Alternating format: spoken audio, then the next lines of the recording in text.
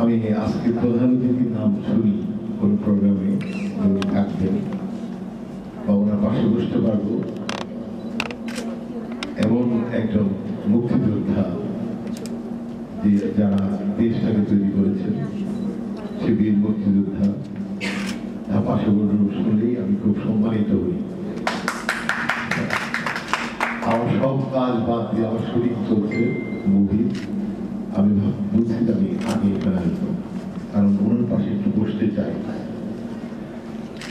উনি শুধু দেশকে স্বাধীন করেনি এক নতুন পতাকা নির্মাণ করেনি উনি করেছেন চলচ্চিত্র উনি আজকে যে পর্যটন যেটা ওনার ইসে আমরা কাজ করে আসছি নারায়ণগঞ্জে ওখানে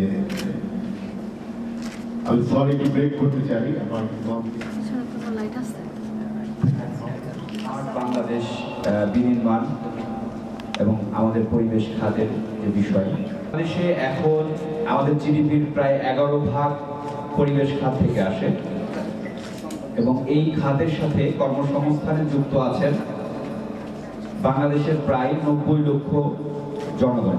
আমাদের অর্থনীতিতে যদি আমরা এই খাতটাকে যদি আরও বেগবান করি, তাহলে জিডিপিতে একুশ পার্সেন্ট পর্যন্ত পরিবেশ খাত থেকে, পর্যটন খাত থেকে ভূমিকা রাখা সম্ভব। আমরা সবসময় যদি পরিবেশ নিয়ে কাজ করি, আবাসন খাতে, আবাসন সাংবাদিক সমিতি বাদশাহ, আমরা সবসময় আমাদের এই সংগঠনকে কেন্দ্র করে সংগঠন থেকে অনেকগুলো সংগঠন রয়েছে। এর মধ্যে ট্রাব একটি অন্যতম সংগঠন। ওদের এই বাদশাস থেকে অনেকগুলো শাখা প্রশাখা সংগঠন আছে। তারা যখন আমাকে ডাকে, তখন আমি খুব সৌভাগ্যবান মনে করি এবং পর্যটন সে চলচ্চিত্রের যে একটা ভূমিকা, সেটি অনেক বিশাল ভূমিকা কিন্তু রেখেছে। এবং সেজন্য আমরা একটা হাততালি দিই আগে সবাই আমরা মুখ মন মারা এবং বিয়েতে আজকে একটা জীবন্ত কিংবদন্তি, চেনা নাম কোনো লোক নেই। সে নাটক করে, অভিনয় করে এবং এক সময় এবং একসাথে প্রশাসনের সাথে তিনি আছেন, চলচ্চিত্র অভিনয় নাটক অভিনয়, কিংবা আমাদের এই বিনোদন মাধ্যমের প্রধান হিসেবে।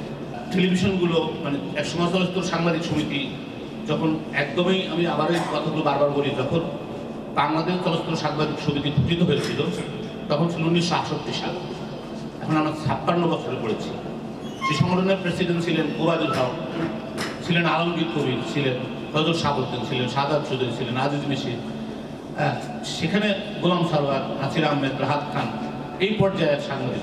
সেখানে আমি নির্বাচিত হয়েছি এটি আমাদের সৌভাগ্য আমাদের সাংবাদিক ভাইয়েরা আমাকে নির্বাচিত করেছে। আমিও চেষ্টা করছি বিভিন্ন প্রোগ্রামের মাধ্যমে বিভিন্ন অনুষ্ঠানের মাধ্যমে বিভিন্ন কাজের মাধ্যমে প্রচার করা প্রচারিত করা।